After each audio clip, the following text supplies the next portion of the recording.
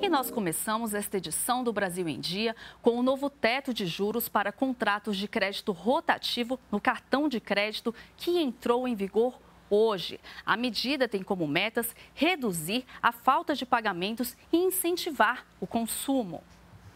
Mas os economistas alertam: apesar da redução de 430% para 100% de juros ao ano, o crédito rotativo ainda é uma opção desaconselhável para quem deseja manter o equilíbrio do orçamento familiar.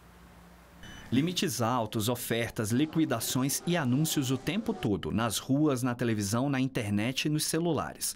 Todos com o mesmo objetivo, fazer com que os clientes usem o cartão de crédito. Com tanta tentação, muitas pessoas perdem o controle e entram em uma espiral de dívidas, já que os juros rotativos do cartão de crédito para pessoas físicas podem chegar a 430% ao ano.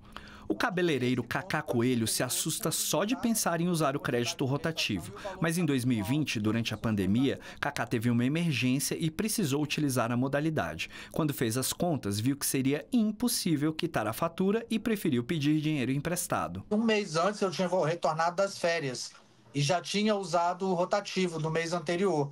Então, naquele mês, se eu fosse usar o rotativo novamente, automaticamente o saldo que ficasse o cartão ia parcelar em 12 vezes de não sei quanto lá, e isso ia dar, na época era dois mil e pouco o valor da dívida, que eu não pagaria no caso, né? E aí, se eu não pagasse, esse automaticamente ia ser parcelado e ia para uma dívida de quase 6 mil reais. Eu fiquei apavorado, aí dei meu jeito e consegui resolver o problema. Depois a pessoa acertou comigo, tudo direitinho.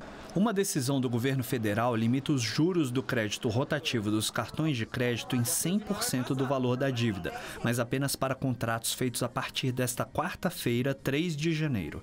Com essa limitação, o governo espera incentivar a quitação de débitos e reduzir a quantidade de pessoas com cadastros negativados. Só ter uma dívida de mil, independentemente do juro mensal, Bateu em 100%, ele para ali.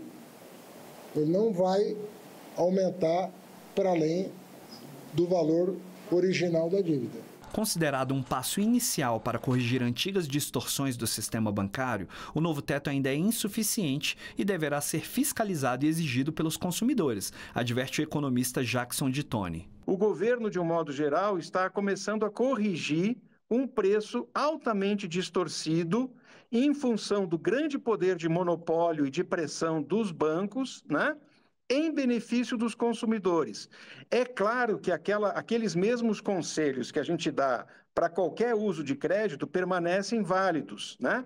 Muitas vezes é melhor você fazer poupança, guardar dinheiro, e não usar o cartão, porque mesmo um juro de 100% é um juro altíssimo. Apesar de se sentir aliviado com a notícia da limitação dos juros, Kaká não pretende utilizar novamente o crédito rotativo, mesmo com o novo teto. Sendo dívida, a gente tem que pensar sempre né, nas condições, em ter as melhores condições.